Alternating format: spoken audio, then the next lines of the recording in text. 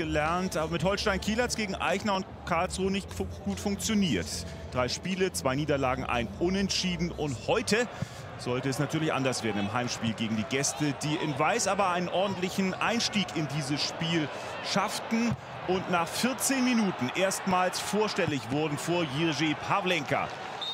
Der Schuss von Wanicek noch abgefälscht. Ein erster Hinweis, dass der KSC, weiß Gott, nicht nach Bremen gekommen war, um sich möglicherweise ein 0 zu 0 zu ermauern. Die Mannschaft von Christian Eichner ist unbequem, weil immer in der Lage, den Großen ein Bein zu stellen. Körperlich gut dabei, so wie hier beispielsweise im Zweikampf gegen Bittenkurt. Aber dann ein bisschen zu viel Platz, sowohl für Velkovic, der die Flanke reinschlägt, als auch für Niklas Füllkrug, der eine erste ordentliche Abschlussmöglichkeit für Werder hatte. 21 Minuten waren da zu diesem Zeitpunkt allerdings schon gespielt. Es brauchte dann schon eine Einladung von Heise für Duxch, um diese Chance heraufzubeschwören. Die beste bis dahin nach 28 Minuten heißen nicht wirklich angegangen. Trotzdem dieser unfassbare Fehlpass Duxch ein bisschen überhastet, technisch nicht ganz sauber. Kurz vor der Pause dann die beste Phase im Spiel des SV Werder, der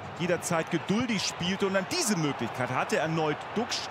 Diesmal mit der Innenseite zu zaghaft und zu ungenau. Also blieb es zur Pause beim 0 zu 0. Ein Ergebnis, das ihn sicherlich nicht überrascht haben dürfte. Die Art und Weise, wie der KSC verteidigte, oft strukturiert, war gut. Werder hatte zu tun und kam so aus der Kabine. Ballgewinn von Groß, klasse Pass von Groß und noch besserer Abschluss. Diesmal passt alles. 1-0 Werder durch Marvin Duksch. Was für eine Serie bei Marvin Duksch, der unter Ole Werner im sechsten Spiel zum sechsten Mal trifft. Hofmann mit dem technischen Fehler und dann Großballgewinn und sofort den Blick nach oben.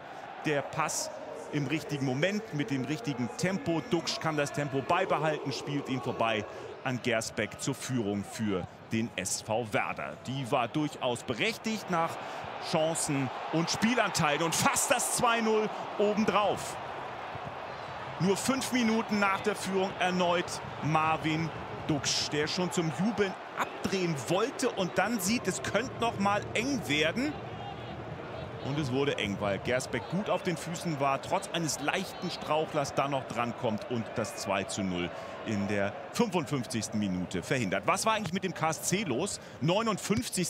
Das war los. Hofmann 1-1. Zehntes Saisontor für Karlsruhes besten Torschützen, der vor der Saison nicht nur im Gespräch bei Werder war. Werder wollte ihn gerne haben, Karlsruhe sagte nein. Und so kam er eben als Gegner ins Weserstadion. Erste Chance für den KSC im zweiten Durchgang und dann gleich das 1 zu 1. Das leitete die beste Phase der Karlsruher ein. Früher Ballgewinn gegen Groß und dann wieder Hofmann. So unscheinbar und doch so gefährlich. Etwas zu wenig Fahrt in diesem Abschluss gegen Jiří Pavlenka in der 68. Minute. Werder zu diesem Zeitpunkt durchaus beeindruckt, wackelte etwas.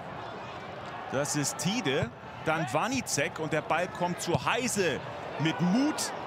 Die Direktabnahme aber etwas zu hoch. In der Hinrunde hätte Werder ein solches Spiel möglicherweise noch aus der Hand gegeben. Aber mittlerweile ist die Mannschaft widerstandsfähig und weiß, dass man sich nicht nur Marvin Duksch bedienen darf, sondern vielleicht auch eines eingewechselten Bombi hier und dann Jung per Kopf 2-1. 76. Minute. Die Co-Produktion der beiden Außenverteidiger. Bomb rechts, Jung links in Mittelstürmerposition, obwohl Karlsruhe mit vielen Mann da im Strafraum war. Keiner nah genug bei Jung. Der köpft nicht nur das 2 zu 1, sondern auch den Siegtreffer. Denn dabei blieb's und Ole Werner holt in seinem sechsten Spiel als Cheftrainer des SV Werder tatsächlich den sechsten Sieg. Aber Thanks for watching. Subscribe my channel for more videos and turn on notification to never miss an upload.